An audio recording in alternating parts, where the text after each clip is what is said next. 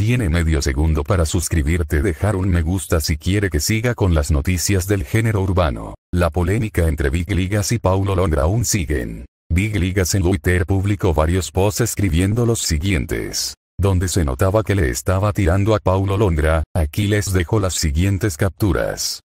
¿Se acuerdan cuando les puse que el artista sí podía sacar música pero no quería? Ya van a entender estas palabras, para que no sigan engañados, acá solo hay maniobras de mala fe para hacer presión y tratar de no cumplir lo pactado con multinacional. ¿Dónde están los que todavía creen que se le engañó firmando un papel sin saber qué decía?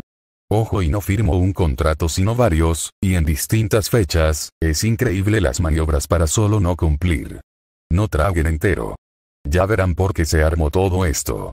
¿No se les hace extrañísimo que tenemos negocios y linda relación con cientos de artistas que insisten personalmente y ninguno, ojo ninguno tiene algo distinto que lindas cosas que decir de nosotros extraño no? Algo no concuerda, ningún artista que nos conozca en persona le cree. Y así fue como un rapero argentino intentó usar gente inocente y engañarlos a todos, después no digan que no les avisamos. Así estarán los fans cuando salgan las pruebas que ya tiene la corte en su poder.